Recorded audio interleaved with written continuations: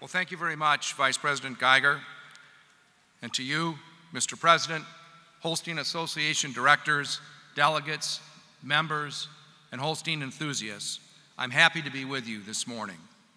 In my address to you today, I'm going to provide a snapshot of the U.S. dairy industry in 2018 and report on some of the association's initiatives. As nobody knows better than you, 2018 was a difficult year for the dairy community. Milk prices were depressed as they had been for several years, and 2018 was the most brutal. The average Class 3 milk price for the year was $14.61 compared to $16.16 in 2017. The plight of America's dairy farmers received more national attention in the popular press than I've ever seen before.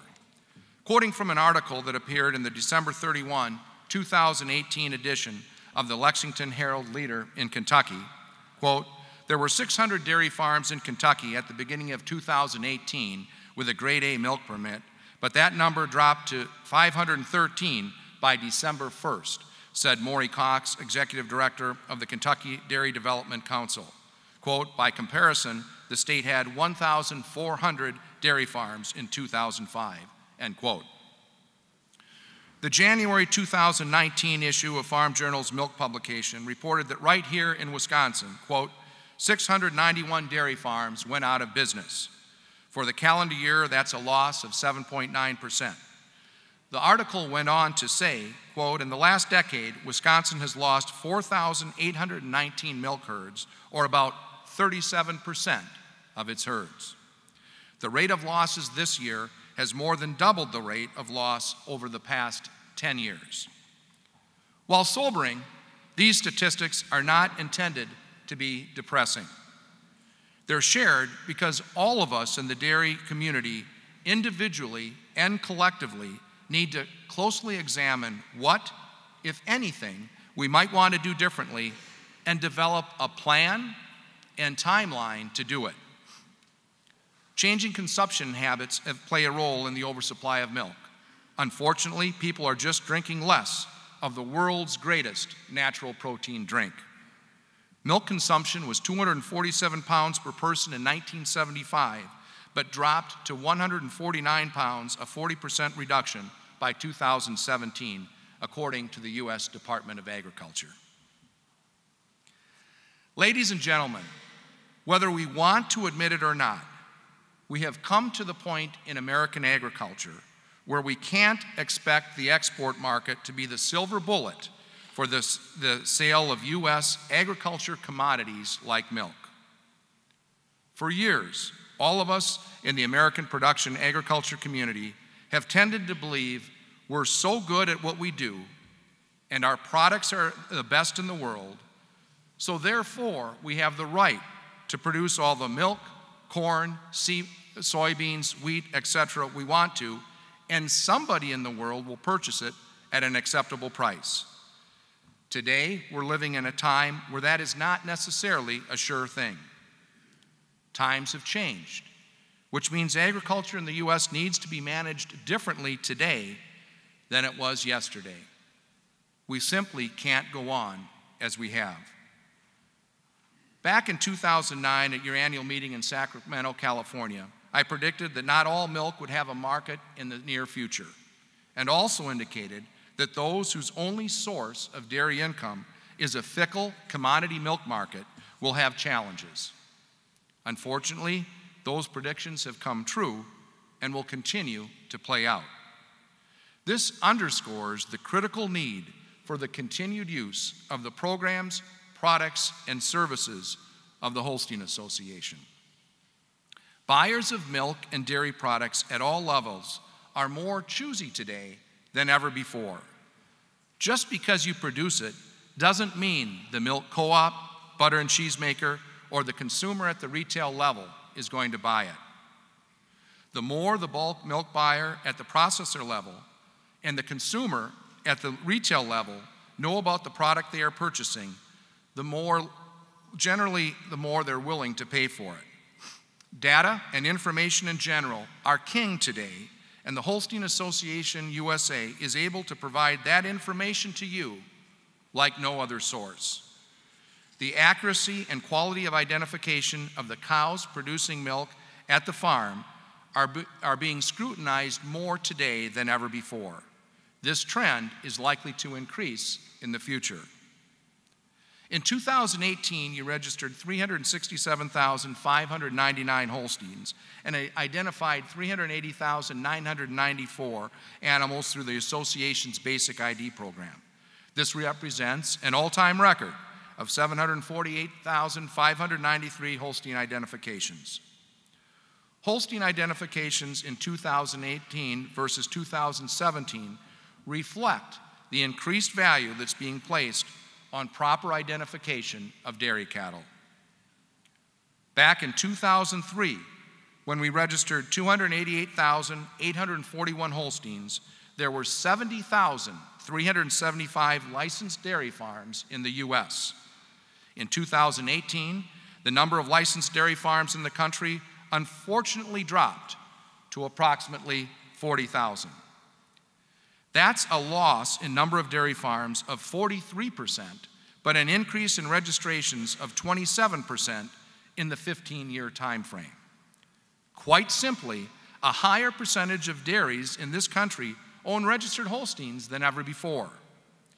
During the same time frame, the number of animals we basic ID annually has increased by 275,141 head or 260 percent.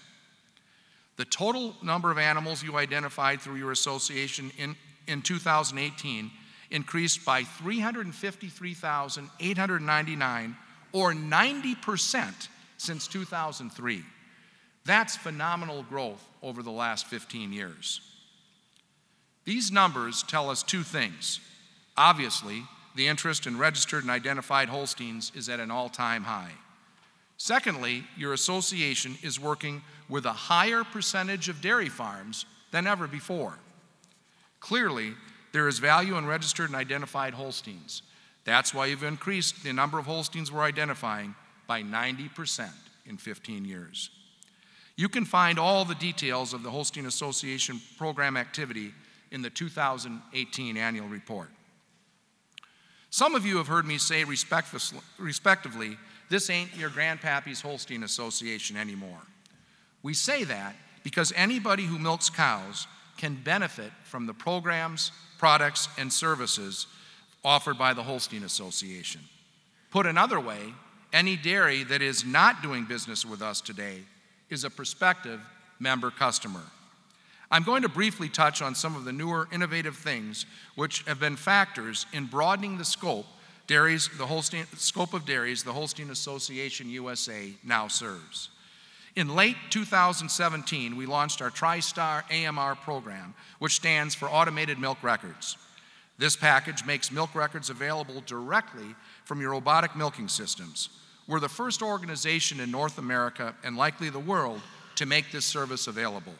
As you know, with each milking, robotic systems collect a wealth of production information and now your Holstein Association offers a way to link milk records into our TriStar Records program. If you're milking with robots and aren't on TriStar AMR, visit with one of the Holstein Association's representatives this week to see how you, we can get you signed up for this exciting new program. Also, know that the Holstein Association's Dairy Records Processing Center in Visalia, California, Agritech Analytics, ATA, is the fastest growing center in the country. According to information compiled by the Council on Dairy Cattle Breeding, the number of records processed at all other DRPCs continues to decline, while ATA continues to grow the number of cow records they process. If your dairy records are not currently being processed by ATA, let us know and we can easily arrange for the changeover. The Enlight computer program, which we de developed in collaboration with Zoetis, is an online management tool to design health, to help Holstein breeders manage their herd genetics more efficiently. The program, the first of its kind, helps you to better manage your Holstein herds. If you're not already enrolled, see one of us and we'll be happy to get you set up. We're also pleased to report and give you an update on the Holstein Marketplace. The marketplace debuted on the association's website about a year and a half ago. This new service gives Holstein Association members the opportunity to sell cattle, embryos, semen, and also advertise sales and dispersals. Holstein Marketplace Sires, which started in January, gives members a vehicle to market semen of high quality genetics from their own bulls to other breeders. These bulls offer depth of maternal pedigrees featuring multiple generations of high producing, very good, and excellent dams. Their strong pedigrees are complemented with the bull's high ranking genomic evaluations, resulting in a balance of production, health, reproduction, and type. Under the program, the bull owners retain ownership of their bulls, and Holstein Marketplace Sires provides the vehicle for the semen to be sold. This new program gives members another profit opportunity on their farm. If you're not in the habit of looking at the Holstein Association's website regularly, please do. The Holstein Marketplace and weekly What's Up video always have items that will be of interest to you. Our fourth Holstein America program will appear on RFD TV Thursday, September 26th. Holstein America is the only nationalized televised dairy program in the country. Through our communication efforts, the Holstein Association has positioned itself as the voice and face of the dairy community. Every week, we're spreading the good news of the dairy industry and registered Holstein cow through news bites we offer to RFD TV and National Association of Farm Broadcasters radio stations from coast to coast. The Holstein Association is taking on proactive genetic research projects with colleges and universities like it's never done before through its research grant program. You'll hear more about the research later during the annual meeting. As background, according to a press release regarding 2018 business activity from the National Associations of Animal Breeders, NAAB, quote, domestic beef units sold in the U.S. increased by 1.5 million units, representing an increase of 59%. The domestic dairy units reported for the U.S. declined by 5.7%, or 1.3 million units. The increase in beef semen sales and decrease in dairy semen sales are direct results of the high number of U.S. dairies that are breeding a percentage of their herds to beef sires. These phenomena present opportunities for Holstein Association members.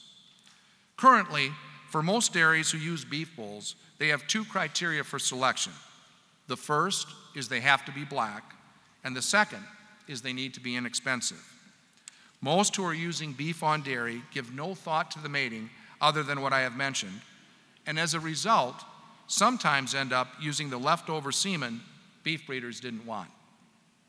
As 2018 was drawing to a close, the Holstein Association and American Simmental Association began collaborating on a program to enhance the profit potential for Holstein Association members who have made the business decision to breed a percentage of their herds to beef. To my knowledge, this is the first time a dairy breed association and a beef breed association have ever collaborated on a project. Now our members can capitalize on their Holstein genetics by using beef semen that is complementary to their Holstein genetics. Through research, the fine folks at the American Simmental Association and International Genetic Solutions have found that the best beef mating on Holstein is semen from Sim Angus bulls we now have a scientific method for those breeders to use through an index of, available to identify those top Sim Angus bulls, which is the Wholestein Index. In the end, the Wholestein program should put more profit in Holstein and Simmental Association members' pockets. This endeavor will bring Holstein breeders, cattle feeders, and packers together with the eventual goal of being the wholesome American beef branded product. In an effort to add more value to registered Holsteins in your herd, we also launched a new recognition program, the All National Holstein Showcase, where animals earn points for their placings at national Holstein shows. We've already released a mid-season ranking following spring shows and will be excited to introduce our first honorees in December of this year. The eight forward looking initiatives I just mentioned are only some of the innovative things the Holstein Association has done recently to help add value to your cattle, increase efficiencies and profit on your dairies, and to promote not only registered Holsteins, but the dairy industry at large. We love to be initiators, not imitators. Participation in programs like these helps separate you and your dairies from those who, for the most part, have little to no verification on their cattle and records that mean anything to anyone other than their herd owner and people who work on the dairy. As we know too well, the profit margin most have been able to receive over the last four or five years in the commodity milk market has been thin at best. Those of you with registered Holsteins have profit opportunities not afforded to those who don't. Good registered Holsteins have over time and will continue to offer premiums not available to those without them. I firmly believe the cost of registering a Holstein offers more profit potential today on a dairy than any investment you can make. Your registered Holstein cows continue to be the leader for superior production of high quality milk, fat, and protein. Our wonderful black and white cow gives you more of everything you're paid for. There is reason for optimism in the dairy industry. The world's population is increasing on a daily basis, and the demand for dairy and meat products will only increase. The registered Holstein cow will continue to drive your profit opportunities like no other. Many thanks to all of you for your involvement with the Holstein Association USA. Thank you.